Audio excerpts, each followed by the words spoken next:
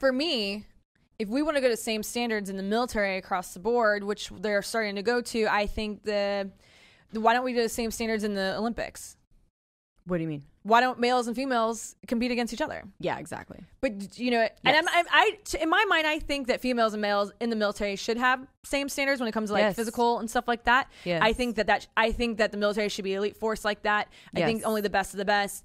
I don't want to have like fat turds in there who you know, or like girls, Guys or girls. girls. Yeah, either or. Guys or girls who can literally walk a mile and a half and still pass, you know, and like get paid the same as guys who have to, you know, train harder. There are girls that can do it. There I'm are not tons of saying girls, that there yeah. not Well, here's- I'm not. here's my But that's the kind of feminist I am is that I wish that we all would play to our strengths and let them play to theirs and we can together make everything awesome and on top of it our strength is like being in fucking charge by the way. here's yeah So- here's my perspective on things i don't think particularly that females really needed to be added into like these jobs with like navy seals mainly like uh seals and special forces because their program and everything they're doing worked perfectly fine like pjt like sh- could a girl in the air force be a pj and combat controller yeah i think so all day long Yeah. will like because to me they don't There do are jobs in the military probably that women are better at, correct? Sure. Yeah. Yeah, yeah. Well, I'm saying they could still do that because it's not like these guys go out in like Yeah. 12 man teams and Yeah. go enter like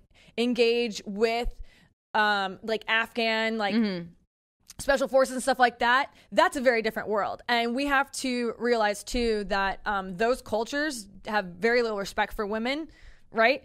Um, and stuff, and it's gonna be really hard for them to be part of those Yes. groups, and that's a very different dynamic, Yes. a twelve man team, than it is being PJs don't get mad at me, but kind of like a combat nurse, Mm-hmm. right? Where like great women are amazing at you know trauma and Handling stress and handling stress being in charge, calm under pressure, and like medical skills and stuff like that, right? And like yeah, don't get me wrong, they do cool things too, like jump out of planes and you know roping and all this other stuff. But girls can do that too. Like it's not Sure. you had to be somewhat physical you had to be physically fit and you had to be a good swimmer but to me like those for me those jobs i'm like whatever Mm-hmm. but what we should have done in my mind instead of putting females in special forces and seals is we should have started their own team of females Mhm. right and i know that there's i know they have like FET teams which are female engagement teams in the marines i know they have like CST and what would that teams benefit though? Like, I'll show culture assessment, like survival teams, I think stuff like that. Okay, so when you think about it, there are certain things like special forces them do where they're like gathering intel and they're like infiltrating certain places and like trying to meet certain people and all this other stuff. Military guys tend to sometimes really stick out like sore thumbs, right? Mm-hmm. And they're not the sometimes the best at it. Yeah. And just like we said, that, you know, we're very, as a female species, we're very, very intelligent. So we can learn other languages really easily. We're natural born interrogators. Yep. We really are. Like, we're really good at that. We're very, very good at blending in. We can change our appearance super easily in so many different ways.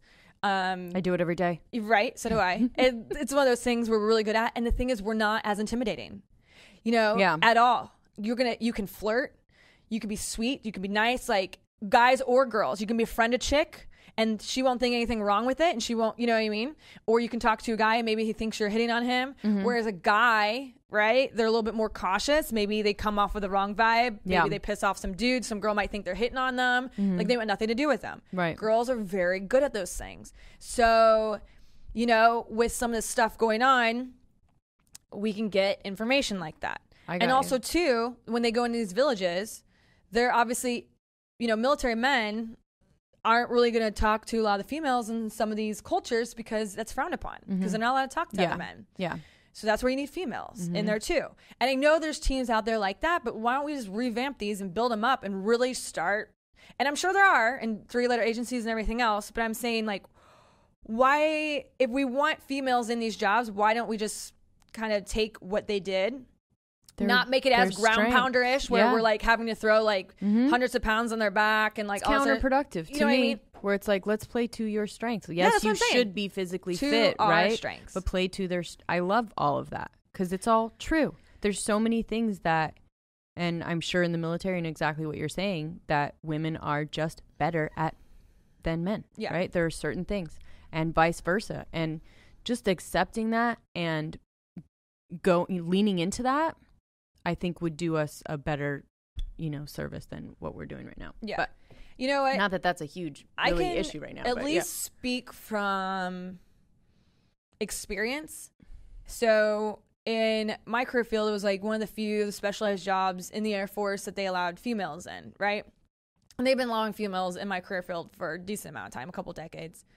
And there's barely any who make it because of the physical standards, right? And like the big thing that always got females to drop out um, or fail was like pull ups because you have to do like a minimum of 8 to get in. And then also, right? And then also uh, the ruck because you know you're you're rucking, which is means you have a heavy load at you know, basically ruck or backpack on your back, and you are moving at a very brisk pace over mountainous terrain or very uneven terrain.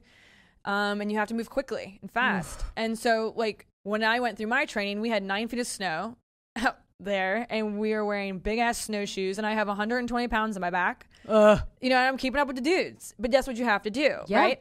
And so the way that these things can only really work if you do want to add females into it is you have to keep a level playing field. You have to keep all the standards intact. You have if you want the girl to be respected by the guys, you have to keep the, the same standards.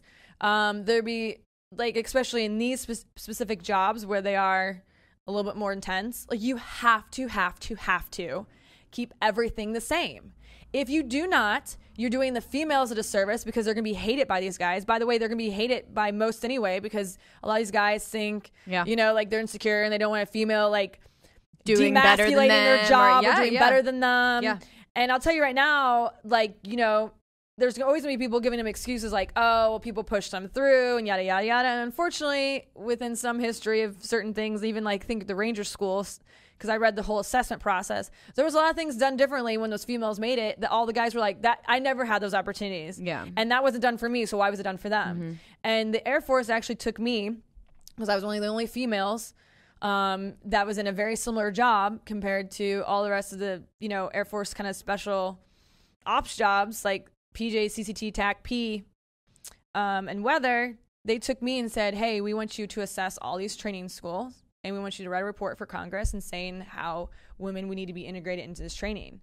And of course, I like talked about facilities and like like clothing and stuff, like how it would be transferred over for females and what would make it easier for them and their lives easier so that it's not impeding training and stuff like that. But then also, um, I was like, keep the news away from them. Don't like, don't try to interview these girls and treat them any differently than any of the rest of the guys. There should not be news agencies mm-hmm. and like reporters saying like, oh, this is the first girl trying Yeah, out for yeah, this. None of that stuff. Keep the standards the exact same. Do not change the standards at all. It's going to ruin A, B, and C and D. This is throughout history. These are all the you know percentages, and they were like, "Wow." I'm like, "Yeah," and it's important to do that. Mm-hmm. And so for me, if they're now allowing all these females into all these combat jobs, then they need to go ahead and put females into the draft now. And that's just my personal opinion mm-hmm. because if they that was the one thing females didn't have was being allowed to be in these combat jobs, right? Being on these front lines, going, you know, being engaging boots on the ground, what's what they call it. So now that females are allowed to do all the same things guys can do, then why cannot why are females not being drafted too? You know what I mean? And a lot of guys are saying the same thing. Like, Right. wait, what the hell is this? Did, what, did they now get to pick and choose what applies to them, what doesn't? You know? Yeah. And so I guess Congress and some of these people did the same thing. Like, hey, this might need to be applied to them. However, now they're s- talking about getting rid of it. Yeah. But that's just my humble opinion. Mm-hmm. As in, listen, I know it might suck, and now all the ladies are like, hey, I didn't want this. Yeah. Hey, I didn't want to do this job. Like, why do I need to be drafted? Right, Yeah. type of thing. But this is kind of like how it goes. Like, if we all want the equality and we want to be treated the same, like, you can't just pick and choose what applies to you and what doesn't. It's you get it all or or you don't. And that's Mhm. just how I feel because that's the only way that that the whole system works. Yeah. You can't say, "Oh no, no, no, no, no, no! I want the job and I want all the benefits." On but I, my terms, when I want to do yeah, it. if but I don't want to be deployed um, and Yeah. be away from my family. Or I have Mhm. kids, and like, well, well, then don't do the job. Yeah. Yeah, you've been watching every move